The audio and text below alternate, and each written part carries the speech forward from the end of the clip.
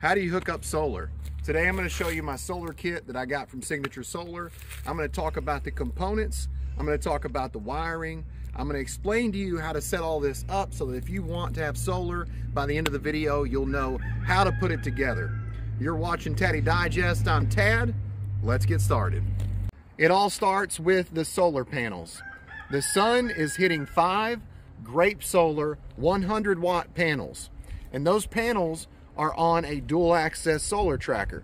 And that solar tracker will track the sun to maximize the amount of power that I gain from the sun. These panels have two wires, a red and a black wire, and they go into a junction box. And then from the junction box, they go through conduit underneath the ground, and that conduit goes inside my shed.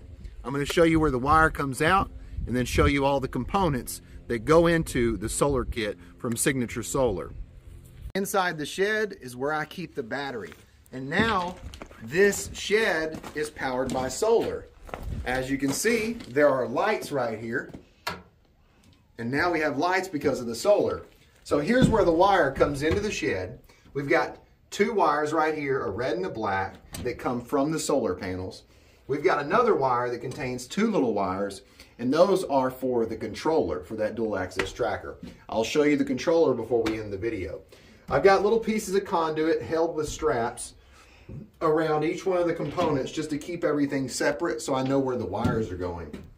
So from the solar panels, we go into a DC isolator, or what I like to call a disconnect. And this is a safety device used to be able to disconnect the solar from the rest of the solar kit.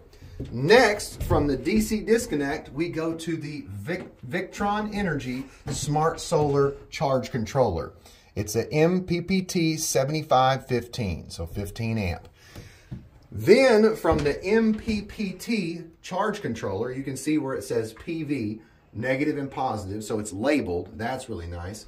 We've got the two wire terminals where the PV array comes into the charge controller. Then from there, we've got two terminals lab labeled battery. So, and it's negative and positive. So you know black is commonly negative, red commonly positive. From the MPPT charge controller, we then go into a distributor. This is a Victron Energy Blue Power Lynx distributor, 1000 DC. The reason we have this is to keep everything looking nice, having a good way to connect all the wires and connect all the components to each other. So we go from the charge controller to the distributor. Then we go from the EG4 400 amp hour battery to the distributor. Then we go from the distributor to the inverter or from the inverter to the distributor. So all three of these components, the charge controller, the inverter, and the EG4 battery are connected together via the distributor. So this is just our distribution center, right? Now, we've got the Victron Energy Pure Sine Wave Inverter, Phoenix 12, 1200 watt. And right here on the end of it, we've got our AC output. You can see right here, this is where this plug is. You can see my lights just went out. Why? Because this plug is wired from our inverter to a breaker box. Why? Because I want more safeties. I have a breaker that's 15 amp for my uh, receptacles, and I've got I've got receptacles inside and outside, and then I've also got a breaker for my lights inside and outside. So let's go over the Cerbo GX. This is a monitoring system, and it is super nice. I have yet to hook this up and I actually use the Bluetooth app, but this is a way you can actually monitor your system with your phone via an app wherever you're at. So this is something really cool, and this is a monitoring solution for your solar kit. So we got our EG4 battery.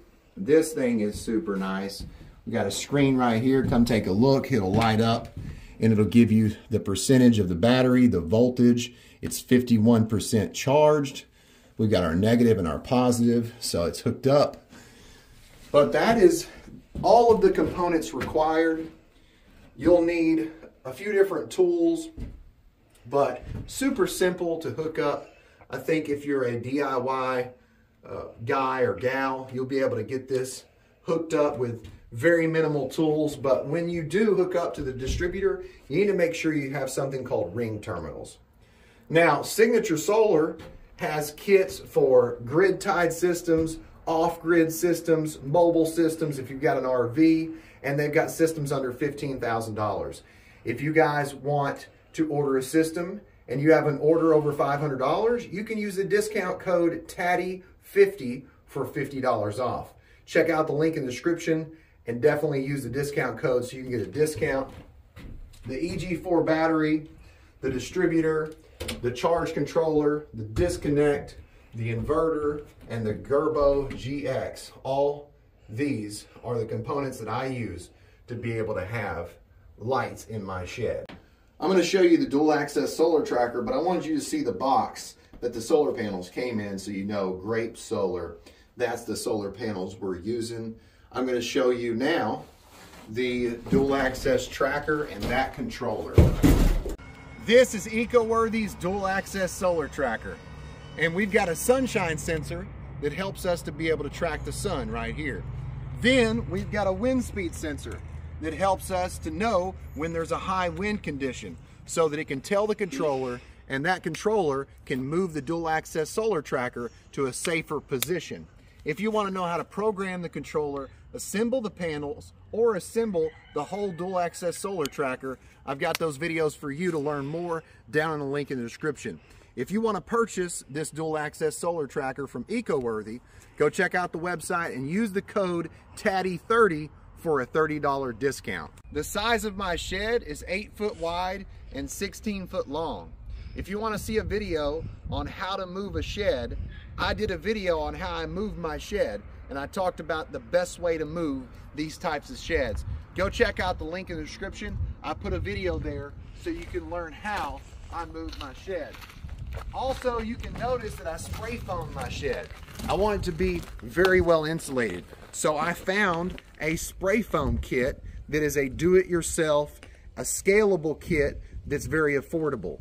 If you want to see a video on how to spray foam a shed like this, I'll put that video down below so you can learn how to spray foam a shed.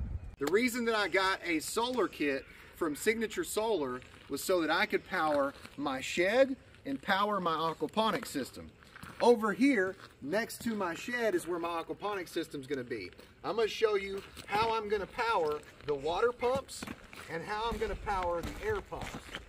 I've got a receptacle right here on the side of my shed. And this is the receptacle that I'm going to use to power those pumps. If you want to see the aquaponics system, definitely stay tuned and check out my playlist, Taddy's Homestead and Garden. You've been watching Taddy Digest. I'm Tad, and I'll keep you powered up if you let me.